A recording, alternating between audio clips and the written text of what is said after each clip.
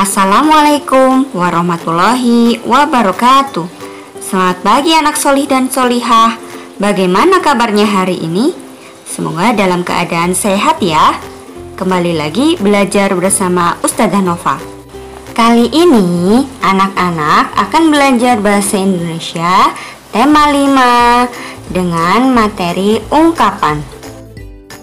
Pada materi ungkapan, kita akan membahas tentang ungkapan pujian, ungkapan maaf, dan ungkapan ajakan.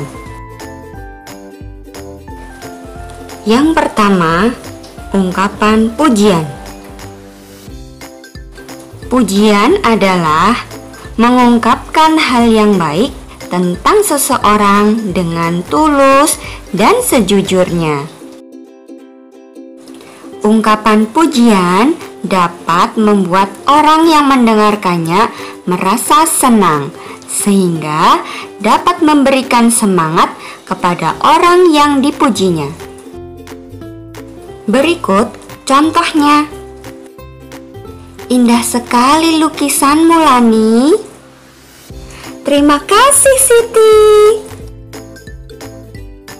Udin, enak sekali masakan kuemu. Terima kasih Benny. Ungkapan yang kedua adalah ungkapan maaf.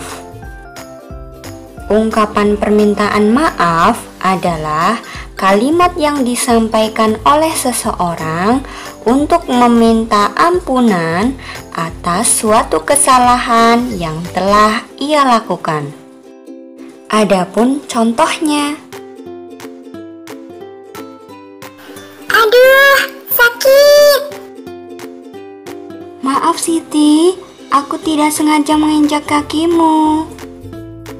Contoh berikutnya, bacalah percakapan di bawah ini.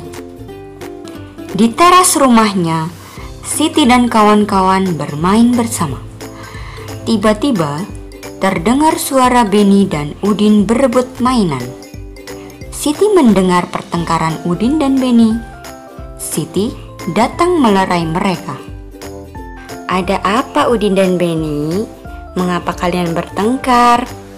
Beni merusak rumah-rumahanku. Aku butuh kotak lagi untuk rumah-rumahanku. Jangan bertengkar teman-teman. Bagaimana kalau kalian membuat rumah-rumahan bersama? Kamu benar Siti. Kita bisa membuat satu rumah yang besar Beni. Betul. Ayo, sekarang kalian bermaafan? Maafkan aku, Udin. Aku telah merusak rumah-rumahanmu. Iya, Beni.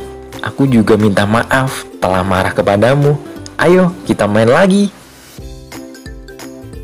Dari percakapan Siti dan teman-temannya, apakah kalian menemukan kalimat permintaan maaf? Coba sebutkan. Yeay, benar, kamu hebat. Maafkan aku, Udin.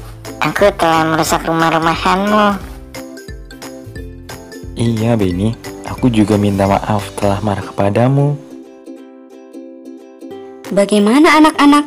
Apakah kalian sudah paham materi tadi?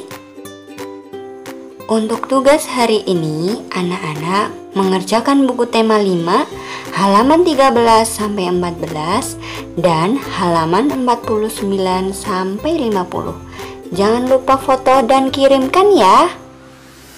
Sekian dari Ustazah. Wassalamualaikum warahmatullahi wabarakatuh.